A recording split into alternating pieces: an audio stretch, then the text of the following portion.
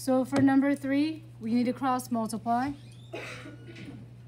And what is 14 times 4? Let's see. 14 times 4, 56. Let's see if I can fit it here.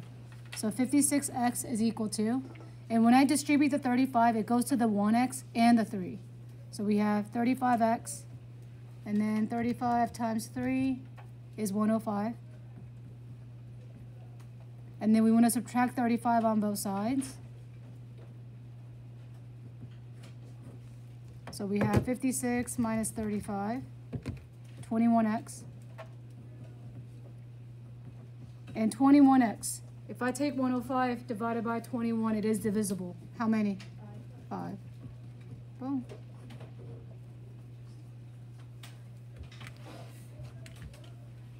Now let's go to number seven.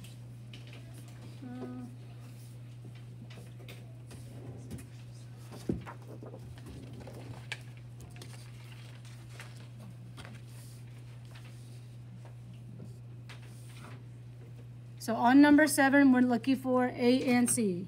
So to find C, we know my sides are proportional, right? So we have 5 over 4 is equal to 9 over C. And I'm going to cross multiply using the calculator. 4 times 9 divided by 5, 7.2.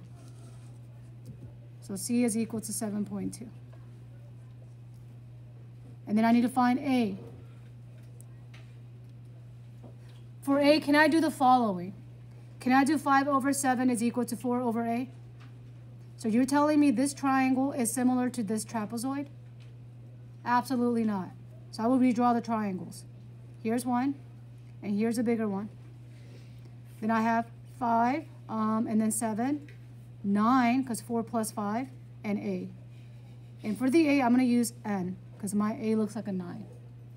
Now we have triangle is similar to, to, to a triangle. Do we all see that? It sounds like it's right when I do 5 to 7 to 4 to 8, but you're making up math. So we have 5 over 7 is equal to 9 over x. And then I'm going to cross multiply.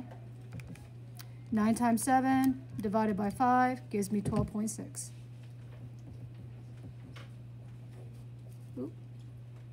There we go. Okay, if you're ready to move on, give me a thumbs up. Mm -hmm. Okay, let's go to number 10. On number 10, as long as I have an angle bisector, what shape can I use? What was the, sh uh, the shape that I used? The heart, very good. So this is equal, I mean, this over this is equal to that over that. So we have 4 over 5, or 15 is equal to x over 22. And then let's use our calc. It's going to give us some ugly decimal. Let's convert this to fraction, 88 over 15. Wrong. Okay, the next page, number 11. Number 11. Ooh.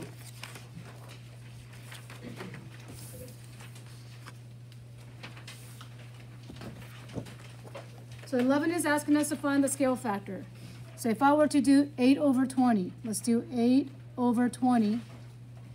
And I think I'm going to use my calculator to simplify this fraction. It's going to give me 2 fifths. So here's the idea. If my end result is small, it is 2 fifths. Or if my end result is bigger, it is 5 over 2. Now for this one, I didn't really tell you which one is the final, so let's, by norm, go from left to right. So from left to right, the right being the end result. Is it smaller or bigger? Bigger, so I'm going to take 5, 5 half. Okay, part B, Renee, let's read. If the perimeter of the larger triangle is 90 meters, find the perimeter of the smaller triangle. So we're going from large to small, so I'm going to take 90, take my smaller fraction, multiply by that, is going to give us um, 90 times 2 fifths We're anticipating it to be smaller and is 36 smaller than 90? Yep.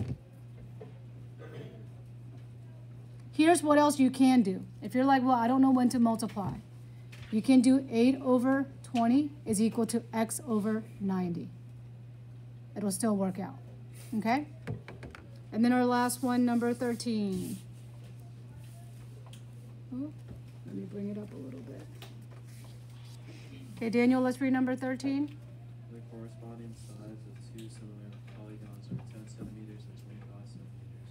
If the area of the 48 centimeters squared on the area of the larger polygon. So let's go ahead and put in the ratio for this one. We have 10 centimeters to 25 centimeters.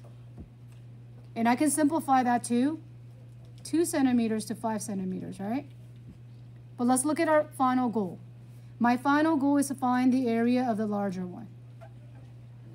If I want the area, what must I do to the 2 centimeters and 5 centimeters? Square it. Square it. So if I square the 2, I get 4 centimeters squared. If I square the 5, I get 25 centimeters squared. So I now know I have 4 over 25. What is given is a smaller polygon is 48. That's going to go on the top. Because 4 is smaller than 25. Smaller one's given, and I'm looking for the larger one. Let's cross multiply. So that will give us 300 centimeters squared. That's 300, by the way.